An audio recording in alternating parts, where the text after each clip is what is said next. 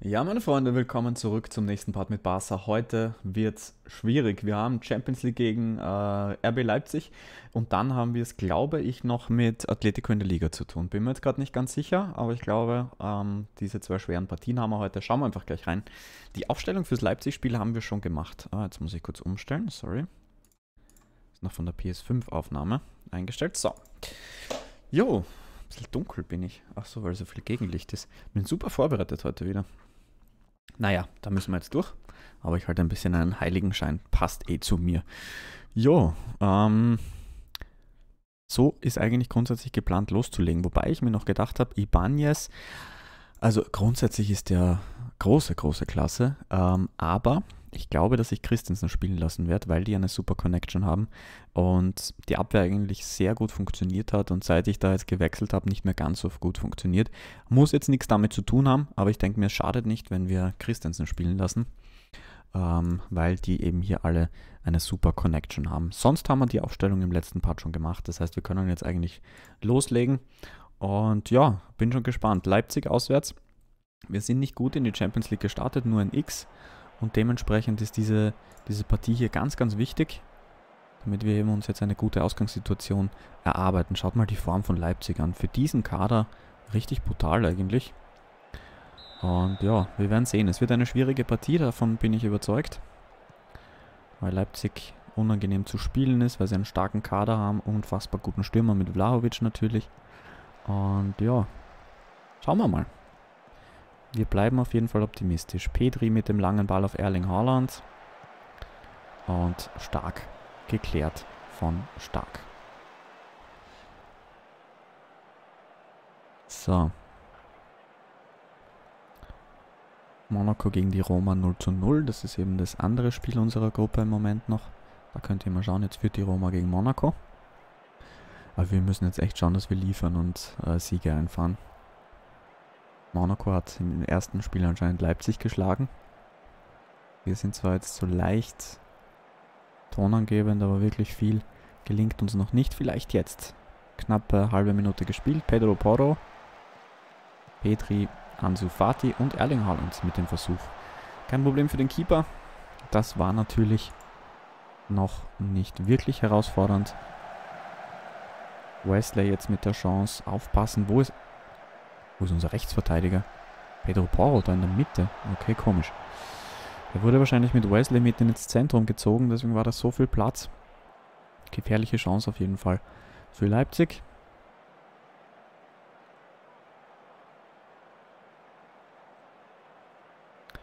Ja, viel klappt nicht. Jetzt läuft die letzte Minute der ersten Halbzeit, also die eine Minute Nachspielzeit. Christensen, Araujo. So, Pedri hat den Ball. Starker, langer Ball auf Erling Haaland. Kriegt er Unterstützung? Ja, von Tejes. Tonali. Oh, wieder super Pass auf Alex Tejes. De Jong, Garcia. Das wir uns da zwar ganz gut festsetzen, aber die Frage ist, finden wir auch die Lücke. Vielleicht jetzt. Tejes und Erling Haaland, spitzer Winkel. Party hat ihn. Und dann der Fehlpass. Ja, keine großen Chancen dabei. Ähm wir schauen mal auf die Leistungen. Da sehen wir, oder auf die Noten, da sehen wir, dass jetzt keiner mit Katastrophe dabei ist. Ansu Fati mit der 6,5, vielleicht noch am schwächsten. De Jong und Tay ist schon ein bisschen müde. Hm. Ja, statt De Jong könnte man natürlich Van de Beek bringen. Aber ich würde sagen, wir machen jetzt im Moment mal so weiter. Und werden einfach noch schauen, dass wir ein bisschen geduldiger bleiben. Sollte es in der 60. noch nicht geklappt haben mit einer Führung für uns, wovon ich jetzt momentan ausgehe, so wie es läuft, werden wir auf die offensivere Variante wechseln. Das heißt mit einem 10er statt einem 6er. Christensen klärt, war aber auch schon abseits. So, Alex Tejas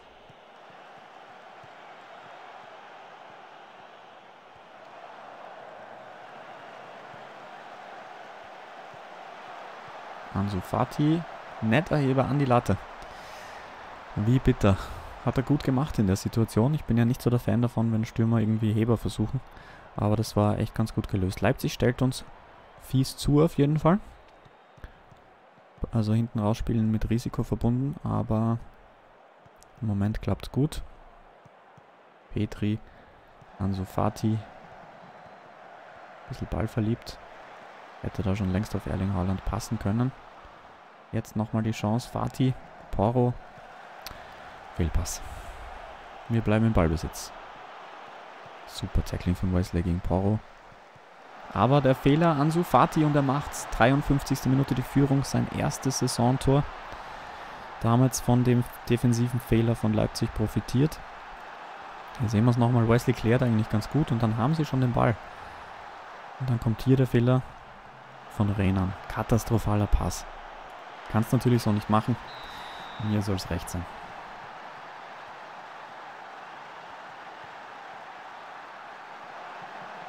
Damsgaard auf Vlahovic. Was natürlich für Ibanez sprechen würde, ist, dass Vlahovic körperlich so stark ist. Deswegen werde ich jetzt, glaube ich, diesen Wechsel dann machen. Denn Ibanez hat halt einfach eine super Schnelligkeit.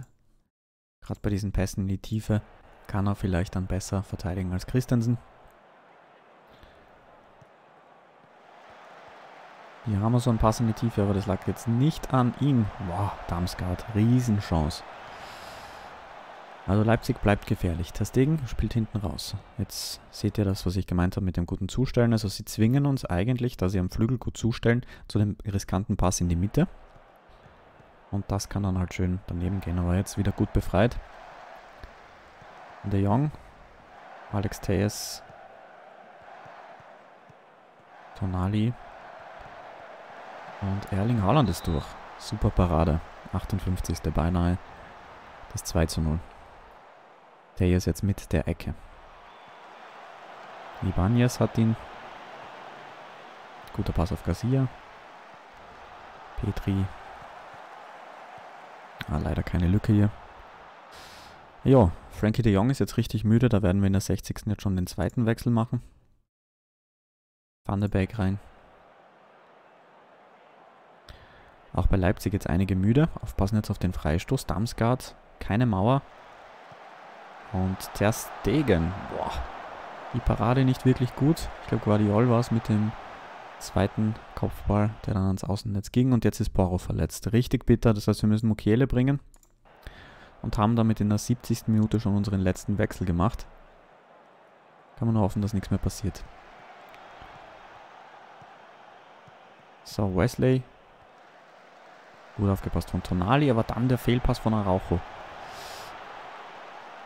Aber wir haben ihn unter Kontrolle gebracht. Gut auch der Pass von Ter Stegen raus, sodass wir im Ballbesitz bleiben und vielleicht sogar ja, für die Konterchance ist jetzt zu spät. Aber wir haben noch eine Chance. Ja, ist unangenehm. Sie stellen uns wirklich gut zu, sind nah und aggressiv am Mann. Aber wir schaffen es immer wieder, uns zu befreien. Fatih mit dem nächsten Heber. Auch hier in der Situation, finde ich, war das eine richtig gute Entscheidung, das so zu versuchen. Kein Vorwurf an ihn. Statistiken sind schon, abgesehen vom Ballbesitz, irrsinnig ausgeglichen. Olmo mit dem Freistoß, Van de Beek, äh, Van de Beek sage ich, der Stegen hat ihn. Garcia mit einer gelben Karte.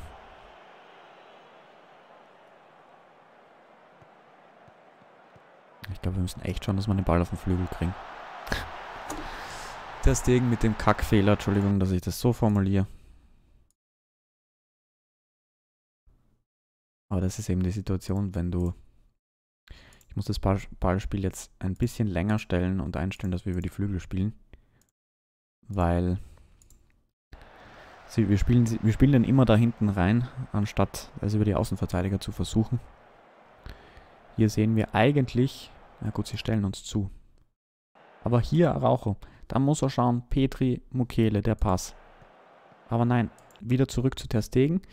Gut, und das ist jetzt natürlich sein Fehler. Der könnte jetzt stoppen, könnte auf Garcia passen, ist natürlich auch ein bisschen riskant. Ich würde wahrscheinlich am ehesten versuchen, hier zu Mukiele zu kommen oder den langen Abschlag. Aber er erwischt den Ball nicht richtig, schießt ihn Olmo auf den Kopf und Wesley macht es natürlich perfekt. Weiß, dass dann hier in der Situation die lange Ecke offen ist und haut den sowas von schön ins lange Eck. Und damit, ja, auch verdient der Ausgleich für Leipzig. So, wir sind in der Nachspielzeit. Tonali mit der Ecke. Vielleicht jetzt nochmal die Chance für uns. Und da scheint ein Foul gewesen zu sein. Der Schiedsrichter checkt jetzt die Videoaufnahmen. Es könnte jetzt sein, dass wir tatsächlich in der Nachspielzeit hier gegen Leipzig noch einen Elfmeter bekommen. Da bin ich jetzt mal gespannt. Schiedsrichter pfeift und gibt den Elfer. Damit die Riesenchance für Erling Haaland in der 92. Minute hier doch noch vielleicht das Siegtor zu erzielen. Und er macht ihn nicht. Vogo hält ihn. Damit, ja, wieder Ecke für uns. Aber natürlich eine Katastrophe, dass er den vergibt. Es bleibt wahnsinnig eng in dieser Gruppe. Bis auf die Roma, die sich abhebt, so wie es aussieht. Aber das ist okay, dann können wir zumindest noch gut auf Platz 2 gehen. Erling Haaland kommt nicht ran. Letzte Minute läuft Van de Beek. Warum spielt er den Pass? Das war super riskant.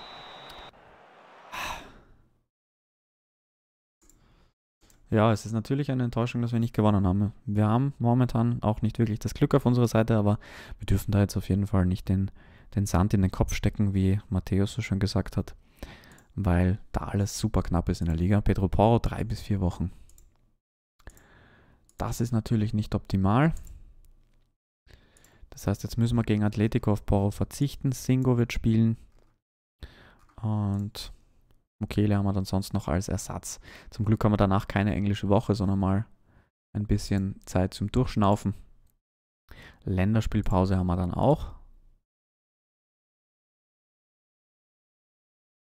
Ach so, haben wir dann nach dem Spiel gegen Atletico schon Länderspielpause. Ja, sehr schön. Angenehm für uns mal. Messi sieht Gefahr. Trainer arbeitslos. Boah, der ist zwar unfassbar schlecht, aber machen wir haben so ein. Das ist ja richtig bitter. Wir haben so ein Gehaltsproblem scheinbar, was die Mitarbeiter angeht.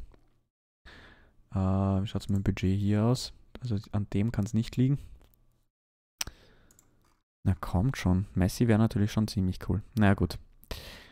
Ähm, jo. Schauen wir mal weiter. Richtung Match gegen Atletico. Wen machen wir verfügbar für Barca B? Natürlich die Jungen, die ich nach oben gezogen habe.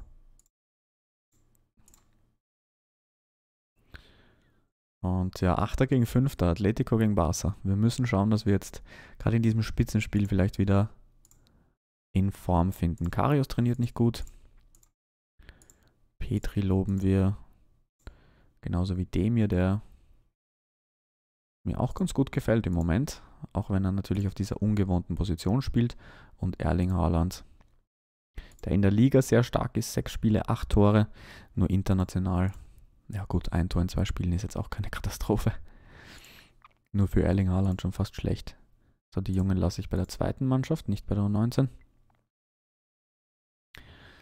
Memphis, maximal 45 Minuten, aber ich würde sagen, dass wir den vielleicht heute auf die Bank mitnehmen. Wer ist an Jeschko interessiert? Arsenal. Okay. So, wir sehen hier, dass wir ein bisschen Probleme jetzt mit der Müdigkeit kriegen. Gerade Tonali jetzt richtig fertig. Ähm,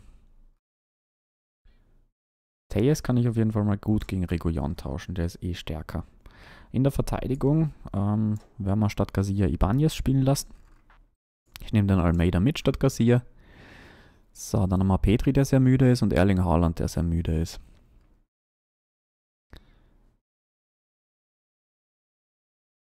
Ja, das ist, das mit der Verletzungsanfälligkeit bei Erling Haaland ist halt schon auch ein bisschen ein Problem. Ich lasse den Jeschko dort spielen. Der kann auch diese pressende Stürmerrolle durchaus spielen. Ähm so, und dann ist im Mittelfeld noch die Frage, Van de Beek würde halt als vorgeschobener Spielmacher sehr gut passen. Deswegen werde ich ihn statt Petri spielen lassen. Ja, und auf der 6 ist halt jetzt die Frage. Sollen wir den Gavi spielen lassen? Der ist so stark. Ich glaube schon. Ja, es hilft nichts mit der Müdigkeit. Haben wir halt jetzt leider dieses Problem, diese eine Woche. Den Rest lassen wir. Ich hoffe, dass wir Erling Haaland dann vielleicht für die Schlussphase einwechseln können. Und ich hoffe auch, dass Atletico, aber die haben nicht Champions League gespielt. Ich hoffe, dass die sich für irgendwas international qualifiziert haben, dass die jetzt vielleicht auch müde sind. Also Champions League haben sie ja verfehlt, deswegen wollten ja so viele Spieler gehen bei ihnen, wie Saul zum Beispiel, ähm, an dem wir ja dran waren. Oder Koke, glaube ich auch. Foul an Singo. Gut rausgeholt von ihm. Ja, wirklich müde. Koke und Inacio ja schon ein bisschen. Also, vielleicht haben die Conference League oder irgend sowas gespielt.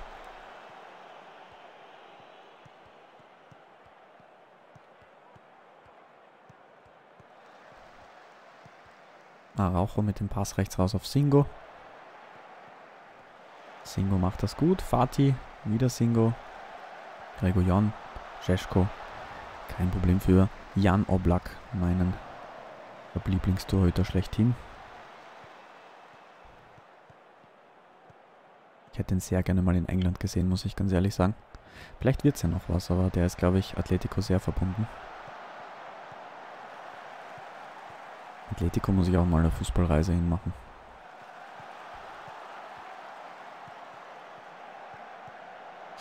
Oh, der Pass ist super gespielt, aber auch Glanztat von Ter Stegen. Koke mit der Ecke. Die klärt die Banjes gut. Reguillon klärt, aber wir kriegen den Ball noch nicht so wirklich weg. Wieder ein Pass in die Tiefe, der super gespielt ist, den Singo klärt. Ansu Fati toll verlängert, Cesko ist durch. Cesko, er macht's. Wie geil, super Konter, siebte Minute. Und Jeschko trifft wieder nach Vorlage von Ansu Fati. Wie, wie schnell ging das denn? Schaut euch hier jetzt nochmal die Wiederholung an. Hier wird geklärt von Singo. Und dann verlängert Fati sensationell Jeschko im vollen Sprint. Mit der Ballannahme hat er zwar ein bisschen Tempo verloren, aber er macht es richtig gut und erzielt die Führung. Siebte Minute. Damit haben wir sie ordentlich auf dem falschen Fuß erwischt. Die ersten Minuten gehörten eigentlich, finde ich, Atletico. Aber haben wir gut gemacht. Tolle Übersicht von Van de Beek. Schlechter Pass auf Scheschko, aber der setzt sich trotzdem durch. Gabi, Van de Beek, Singo, wieder Van de Beek. Der macht sich auch gut heute. Und da ist Scheschko 2 zu 0, 14. Minute. Der macht den Doppelpack, nachdem hier zuerst noch reklamiert wurde wegen einem Elfmeter. Wie geil war das denn? War das ein Vorteil? Vorteil gibt es doch bei Elfmetern nicht, oder? Nee. Perfektes Tackling stand da. Und Scheschko mit dem 2 zu 0, sieben Minuten später. Alle sieben Minuten ein Tor, schauen wir auf die 21. Ja, das geht sich aus. Chance in der 21. Minute. Das wäre jetzt zu geil. Reguillon.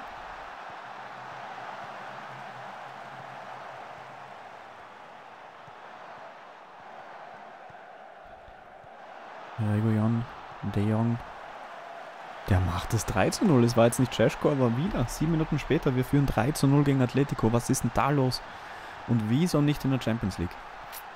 Aber sensationell. Reguillon hier. Der Pass auf De Jong. Der wird überhaupt nicht attackiert. Nimmt ihn einmal mit. Scharfer Abschluss ins lange Eck. Richtig stark. Das wäre natürlich ideal, wenn ich ähm, den wenn ich den Haaland nicht mal einwechseln müsste heute. Das wäre mir natürlich am liebsten heute.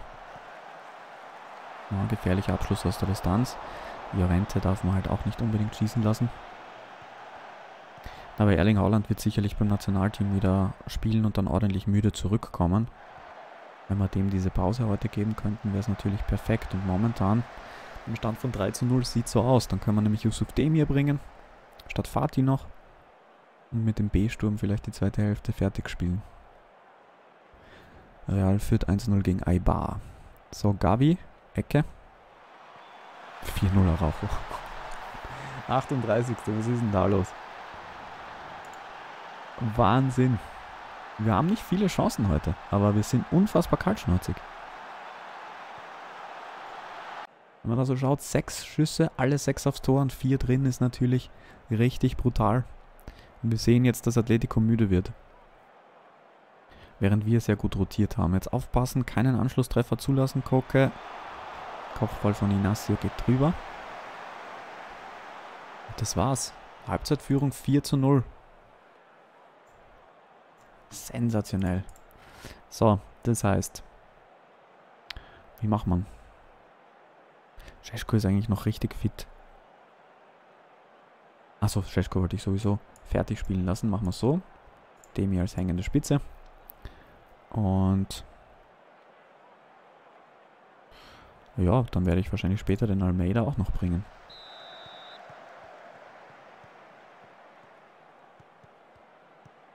Damit der wieder bei der ersten Mannschaft spielt.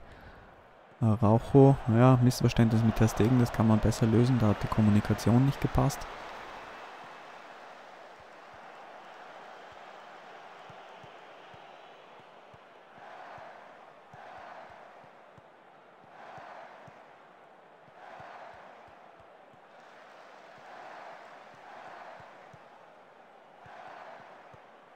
So, Donny van der Beek, Scheschko. Singo, wieder Scheschko, toller Pass in die Tiefe, Van und er versucht selbst, Oblak mit der guten Parade. Siebter Schuss aufs Tor.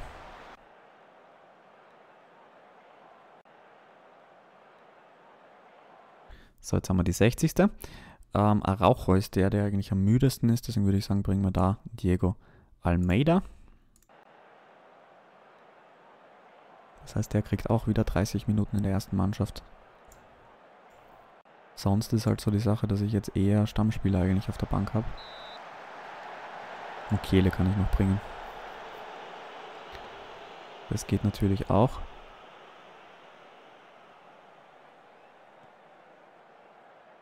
Boah, Almeida, riskanter Pass, aber alles gut gegangen. Und dafür kriegt der Nibanias diesen 2-Meter-Pass nicht an.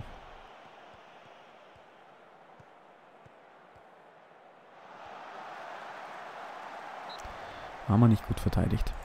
So, ich mache jetzt folgendes noch. Ich werde den Christensen noch rausnehmen. Ich schiebe Almeida auf links, Mukiele auf rechts. Ich hoffe, dass die Abwehr jetzt keine vier Tore mehr zulässt. Dass wir das Ding gewinnen, aber ich möchte Mukiele eben auch noch einwechseln und Christensen wird auch sicher beim Nationalteam spielen. Deswegen boah, haben wir Glück. Wie kann denn der den an die Latte machen? Also jetzt muss man gerade ein bisschen aufpassen. Atletico ganz stark. Eine gefährliche Chance nach der anderen. Also von den Chancen her hätten die da schon ein, zwei Treffer machen können jetzt. Und dann wird es knapp. Da ist es jetzt passiert. 74. der Anschlusstreffer 1 zu 4. Lemar gegen...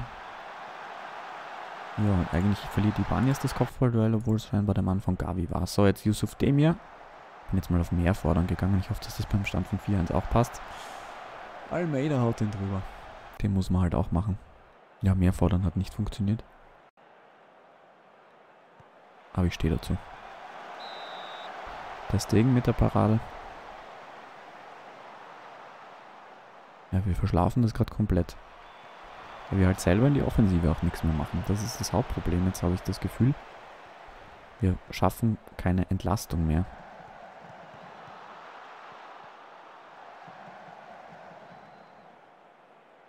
Also von der Anzahl der Chancen und vom Expected Goals Wert her ist Atletico jetzt sogar schon besser. Ja. Ich werde vielleicht, schauen wir mal, eventuell kritisieren, was da in der zweiten Halbzeit abgegangen ist. Jon klärt.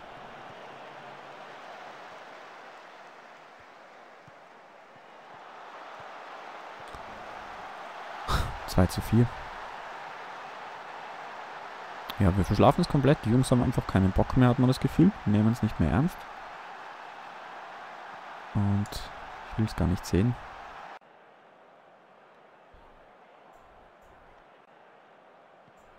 ...94. die letzte Chance. Also wir gewinnen das Ding trotzdem, aber die Art und Weise wie ärgert mich jetzt natürlich schon. Aber gut. Bei einem... Ja, das ist halt das Schwierige. Beim 14-0 Halbzeitstand, dass du Jungs da irgendwie bei Laune hältst. Ähm, das mit der zweiten Halbzeit spreche ich an. Scheschko ist jetzt natürlich nicht zufrieden, aber das ist, das muss ich so sagen. Aber im Endeffekt ist alles gut gegangen. Wir haben gegen Atletico gewonnen. Wir haben unfassbare 20 Tore Tordifferenz plus. Also das ist natürlich auch richtig stark. Ja. Kann man natürlich zufrieden sein. So, Scouting abgeschlossen.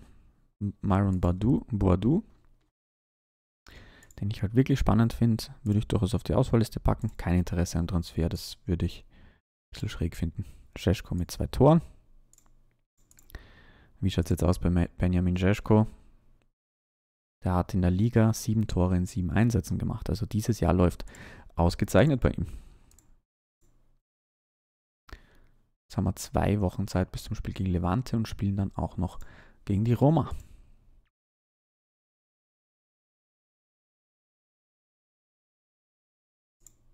So. Scouting von Caicedo abgeschlossen. Das ist auch ein durchaus interessanter Spieler. 21 Jahre aus Ecuador. Wir sind im Zentrum echt gut aufgestellt. Thiago Tomas von Southampton. 21-jähriger Portugiese. Haben wir eh schon auf der Auswahlliste.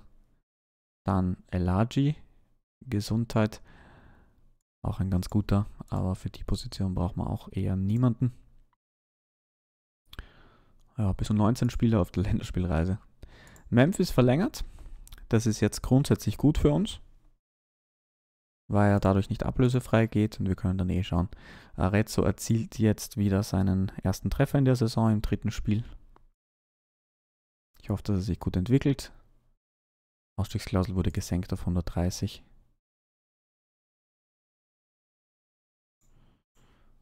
Ja, 130 Millionen für Memphis sollten wir auf jeden Fall nehmen, wenn wir sie kriegen.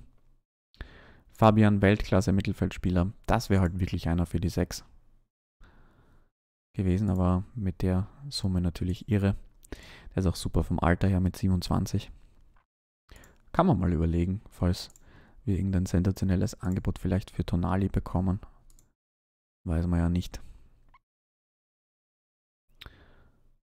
Ja, jetzt haben wir natürlich ordentliche Belastung, vor allem jetzt auch bei denen, die beim Nationalteam sind.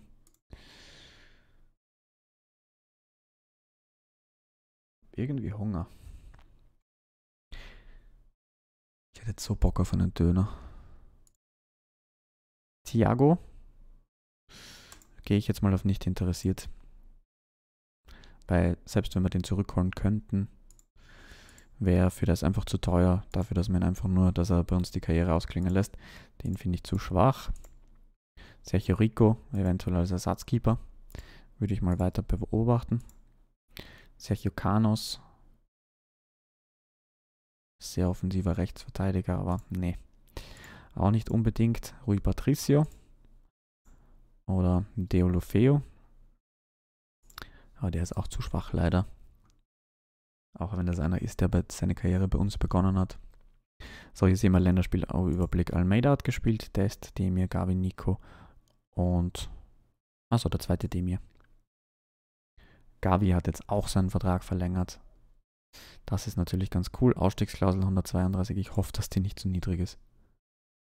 Newcastle ist dran, die haben das Geld, aber da bin ich mal optimistisch. So, Lazarus wird Profi. 16-jähriger Stürmer. Aktuell in der U19. Der wird dann im Sommer wahrscheinlich den nächsten Schritt machen in die zweite Mannschaft. Vielleicht sogar im Winter, schauen wir mal. So. Den haben wir eigentlich. Der sollte immer bei der U19 spielen. Länderspielüberblick Domingo Roman. Ist halt auch ein Mega-Talent. Ist der schon bei der zweiten? Ah, den haben wir jetzt sogar in der ersten, oder? Genau, den haben wir hochgezogen. Dass er in der ersten Mannschaft schon mittrainieren kann. Gut, von der Zeit her sind wir jetzt, glaube ich, schon am Ende. Ich mache hier den Cut und dann sehen wir uns. Uh, Ibani ist verletzt. Zum Glück nur ein bis drei Tage. Dann sehen wir uns im nächsten Part mit dem Spiel gegen Levante und dem wichtigen Spiel in der Champions League gegen die Roma. Vielen Dank fürs Einschalten. Bis zum nächsten Mal. Ciao.